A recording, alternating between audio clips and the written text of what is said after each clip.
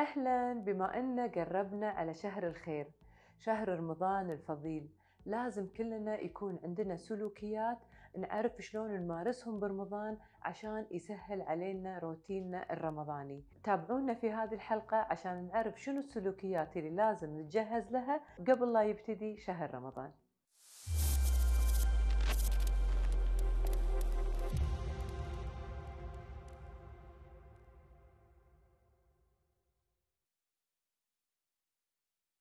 بما أن شهر الخير قرب علينا شهر رمضان اللي كلنا ننطره ونتفائل فيه من سنة لسنة. رمضان حلو وبيمعته وبطاقته الحلوة وبالإيمانيات والروحانيات وبالصلاة وبالدعاء وبالصيام من أجمل شهور السنة. في ناس وايد ما يعرفون يستعدون الاستعداد السليم لرمضان. وبعدين لما يبتدي رمضان يصير عندهم بعض التوترات الجسدية اللي هم ما جهزوا نفسهم بسبب سرعة الحياة وانشغالهم وغيره وغيره من الأشياء. ففي بعض السلوكيات لو إحنا نبتدي نسويها قبل شهر الخير راح الواحد يكون أكثر متناغم مع الصيام ومع طاقة الصيام وشهر الفضيل. في ناس مثلا من الأشياء اللي هم متعلمين عليها شرب القهوة صباحا مثلا أكثر من كوبين ثلاثة خلال فترتهم آه، اللي بالعمل يعني يكونون فيها. فأنا أفضل دايما أقول حط لك وقت قبل رمضان بشهر آه، أن تتجهز حق سلوكيات رمضان. وبتدي تبتدي تدخل بطاقة رمضان وبجو رمضان قبل حتى لا يبتدي. فإذا أنت من النوع اللي متعلق بالقهوة وعندك تعلق كبير وما يبتدي يومك إلا أنت تشرب قهوة كل يوم حاول بالبداية أن أنت تخفف من شرب القهوة يوميا. إذا كنت تشرب خلال مرحلة الدوام هالثمان تسع ساعات ثلاث مرات قهوة وتكون مثلا مركزة تركية أو إسبريسو أو غيره حاول مثلا تخليها مرة واحدة. والمرتين الثانيين استبدلها بمشروبات مثلا تكون أقل كافيين.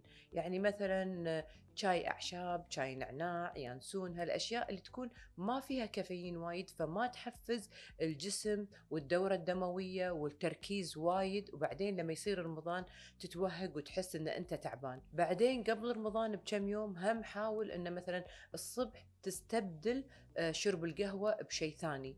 هم عشان تكون أنت مخفف من نسبة الكافيين في جسمك.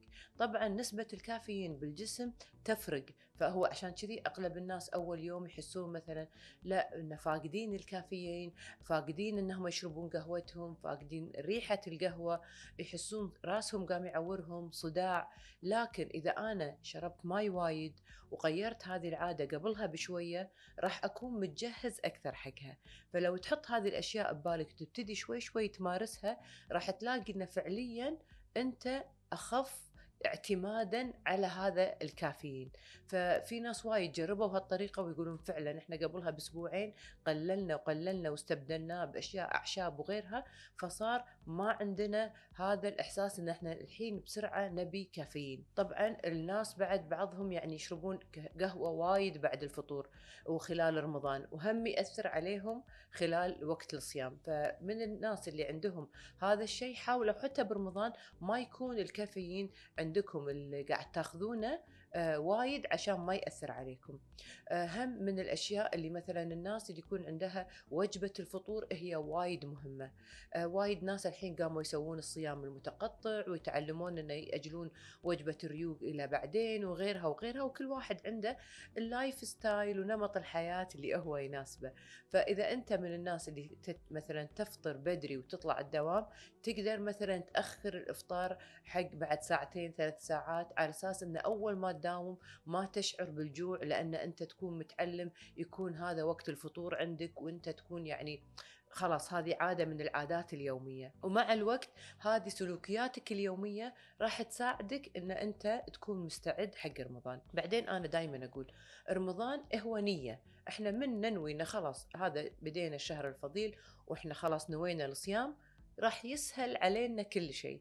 لكن قبل رمضان نحس إنه ها يمكن يكون صعب يمكن يكون حر. ترى هي كلها أفكار يعني مو صحيحة.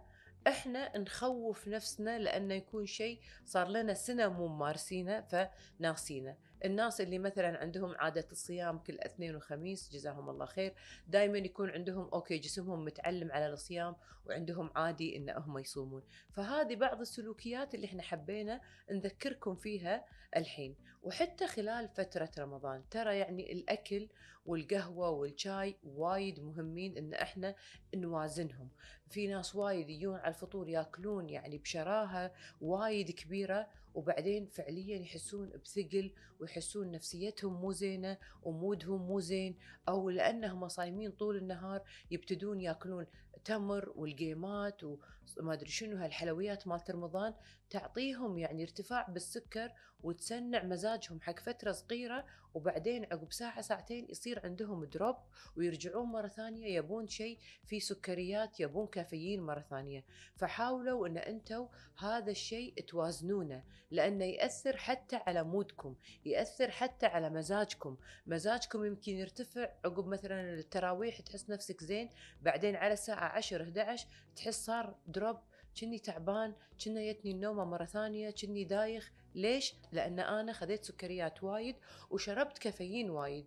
فكل شيء بالتوازن يساعدني أن أنا أصوم الشهر وأنا بصحة وبعافية. بعد روتيني خلال رمضان لا تصير دايما قاعدين بس نشوف التلفزيون أو بس قاعدين يعني مجابلين البيت وما نطلع. طبعا أكيد رمضان في جانب روحي روحانيات كبير ويهدي النفس ولا يعني قدرة كبيرة على تهدئة النفس وعلى الشعور بالراحة وبالأمان وبالإطمئنان. وسبحان الله تنزل سكينة على أرواحنا جميلة جدا جدا. فإحنا لازم ننتبه حق الجانب الروحاني برمضان. قراءة القرآن الصلاة هذه الأشياء وايد مهمة وإحنا نكون قدمة قدوة حتى حق اللي معانا بالبيت حق أبنائنا بناتنا. لما إذا مثلا عندكم أبنائكم الصغار تاخذونهم معاكم المسجد. إذا ما عندهم مدرسة يصلون مثلا معاكم صلاة التراويح يتعلمون على قراءة القرآن. تعلمونهم مثلا هدف صغير لو تقرأ خمس صفحات مثلا عقب كل صلاة أو تقرأ مثلا صفحتين آه، كل يوم على حسب اللي هو يقدر عليه. طبعا لأنه هو عنده أعباء المدرسة وغيرها واجباته بتوازن. ومثلا آه انه يتمسك بالصيام وإنه يصوم ويشوف أهله كلهم يصومون بالبيت هذا راح ينعكس عليه وراح يحس إنه هي عادة حلوة وانه هو لا أجر كبير وراح تلاقونه إنه هو بدون ما تذكرونه خلاص هي صارت من يومياته الصلاة وقراءة القرآن وحتى الروحة معاكم حق المسجد. فهذه الروحانيات وايد مهمة. كمان ما ننسى الجانب الجسدي إن إحنا لازم نتحرك في رمضان. في ناس وايد يصيرون هم بس قاعدين بالبيت ما يتحركون.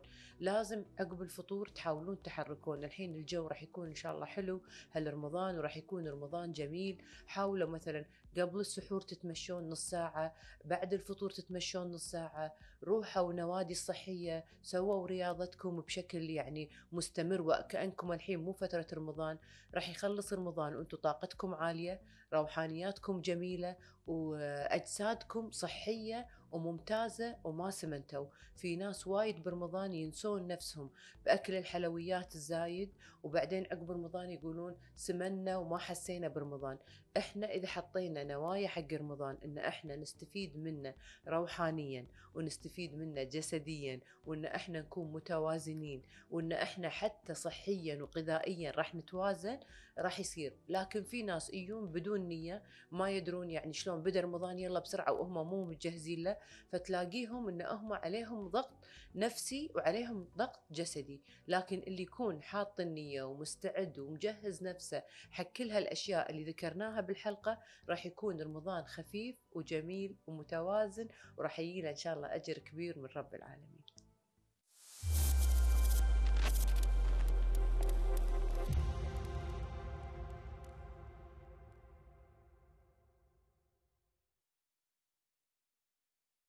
في نهاية حلقتنا عرفنا أن في بعض السلوكيات اللي لازم نسويها خلال النهار عشان نتفادى أي تعب جسدي أو نفسي أو أنه يكون عندنا اضطرابات بالمود خلال أيام رمضان والشهر الفضيل. لازم يكون عندنا توازن بين الروحانيات والأشياء الجسدية وحتى الأشياء اللي نتناولها خلال شهر رمضان.